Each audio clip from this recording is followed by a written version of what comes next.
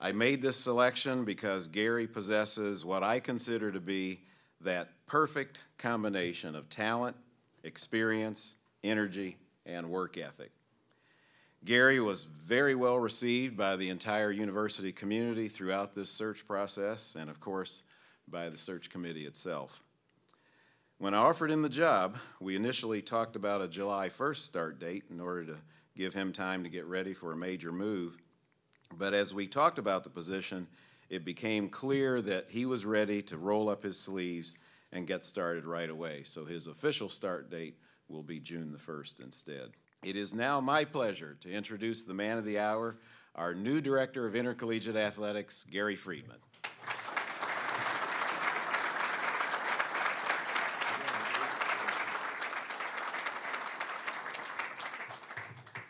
Well, this is really amazing. Um, you know, you work uh, 22, 23 years in this profession uh, to get the opportunity to be an athletic director.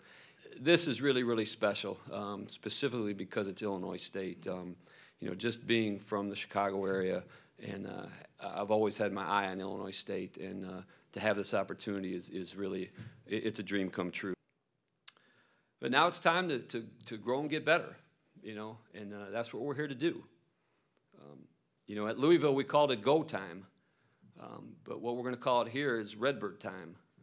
And uh, Redbird time means every day we're going to come to work, we're going to have great passion and great enthusiasm. And uh, again, as I should, we're going to provide a championship experience uh, for every staff member uh, and certainly every student athlete here. Status quo is falling behind it. We're not going to be status quo. We're going to be moving forward every day, every day. Um, as I've taken the word Redbirds and we talk about respect and enthusiasm and discipline and believe, because you got to believe, and integrity and responsibility, and all those things drive success. And we'll talk about those every day with our student athletes, with our coaches, with our staff across campus, because those are core values that, that uh, are important. They're, they're, here already, and we'll continue to stress them. Um, I'm even more excited about uh, Gary Friedman now after hearing his initial speech than I was when I met him.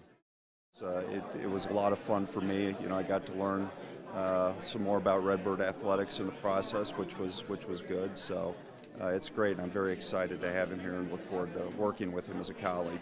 We want to have a family atmosphere. You know, we talked about a family of champions, and we want everybody to feel like they're part of our family because it's going to take everybody, you know, to, to, to reach those goals of being champions.